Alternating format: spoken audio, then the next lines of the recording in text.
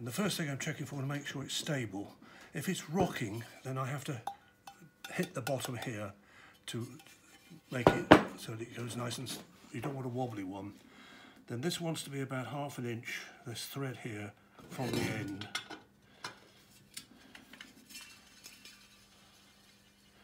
That's about right. And I'm going to screw it, tighten it with one. Uh, The next thing comes is the cash box. Just going to check it, make sure it's not split anywhere. Sits in there nicely.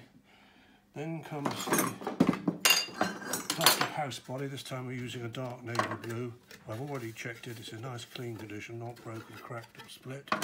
It goes on like that. Then comes the chute shield which goes like that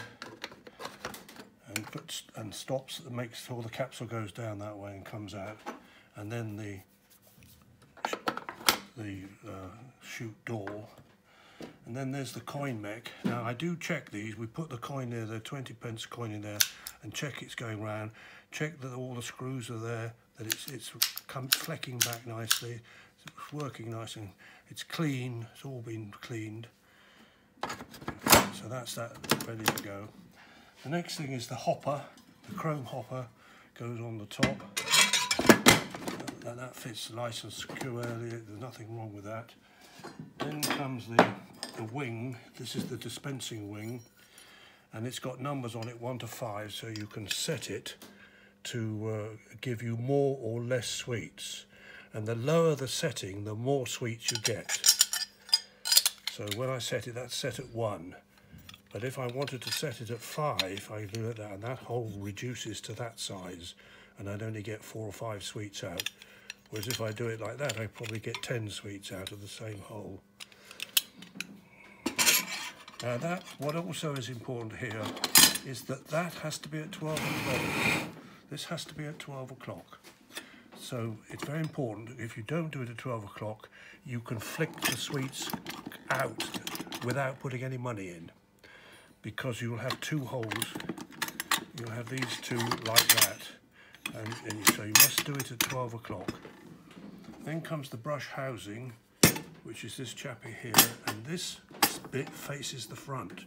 If you do it the other way around like that all the sweets will drop through free of charge. So it's important to get that round the right way. Then comes the adapter ring. This has got a little finger slot on it on that end, so that fits that way round with it lining up with these two little holes here. Then comes the globe. This is a new globe, and I'm got to line the holes up that are there with the little lugs that are on the top of the globe.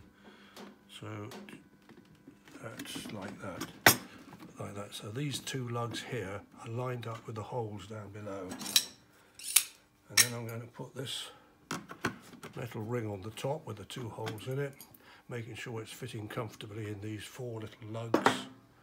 Drop those down line them up on the hole twist them just so that they start off. Get the drill the right way around. Don't over tighten them otherwise you'll split the plastic close soon as it starts to grip, let go. Then the, the lid goes on and it clicks on nice and firmly and last would be the lock and that's it all finished.